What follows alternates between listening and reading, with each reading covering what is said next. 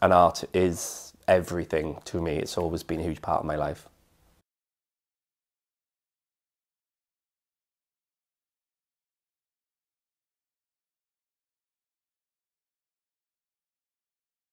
I'm not confined to a certain medium to use. I don't just use pens, paints and pencils.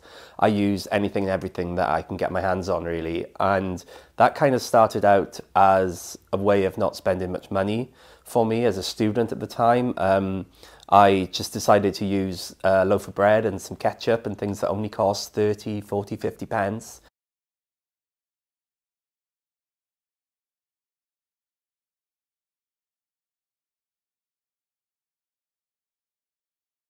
It became a career about halfway through my university course actually so um, very blessed that it, it has worked out that way for me and I think a lot of that is down to drawing influence from things as they happen in the world. I never run out of source material because there's always something going on, whether it's politics or celebrity related or just celebrating a new album from a pop star that I love or anything like that. I've always get inspiration from anything and everything.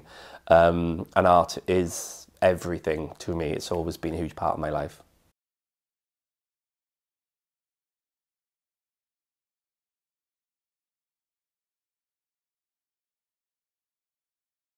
Now I am applying the clotted cream to the stencil that I created earlier and using that as a base on a black piece of paper. So when I remove the stencil, the image of Victoria will appear also then with jams. So it's going to be delicious, just like she is, I think.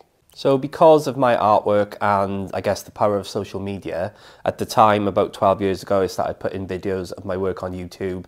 And since then, it's evolved into other things like Instagram and TikTok. Um, it's opened up a huge array of opportunities for me, including working on some of the biggest TV shows with the biggest brands around the world, and also meeting some incredible people that I've always admired.